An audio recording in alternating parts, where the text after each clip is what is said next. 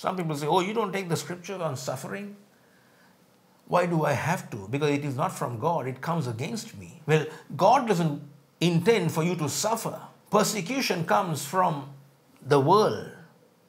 If you didn't know, why does persecution come? Why wouldn't we talk about the God who is so good to us, who is all loving to us?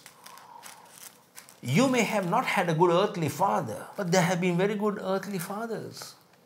I know, I had an earthly father.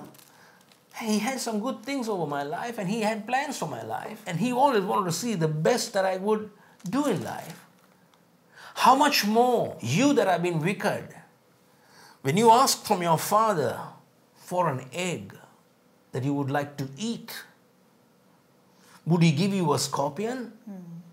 And if you have a father who could be evil, and if you ask for fish, would he give you a serpent? And if you ask for bread, would he give you a rock? How much more will your heavenly Father give unto them good gifts? Yes. People have a question about why don't we talk so much about persecution and sufferings which brings glory and honor to God? Let me show you the scripture from the book of Mark 4.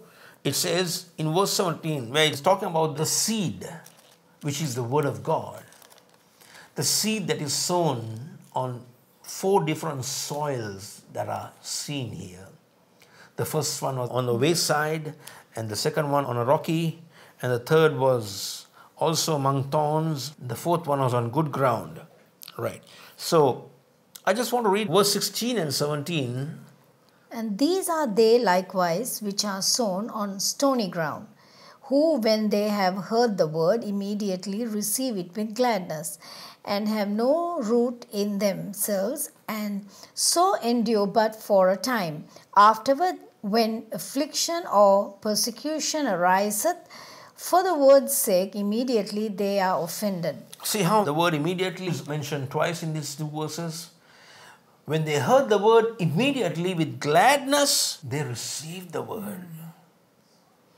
But then we find the second time, immediately they get offended. Right? So if you're the kind of person who has heard the word immediately and then you have never taken time to let it be rooted in your heart, let it be rooted in your heart to the extent where you are able to handle persecution and afflictions that ariseth. It didn't say it comes from above, it said it arises from the earth. Mm, from the earth. So, persecution, afflictions, sorrows, troubles don't come from heaven, Yes. they arise from around us. Satan, the arch enemy of God, is an enemy to you.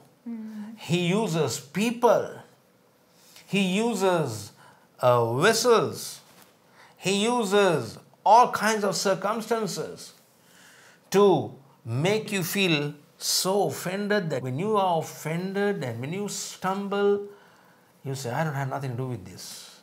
I'm so upset about this. I don't want to. I mean, if you're a spiritual person, you know that you will have certain situations that will arise mm. against you because of the word's sake, because you have the word of God in mm. your heart. Mm.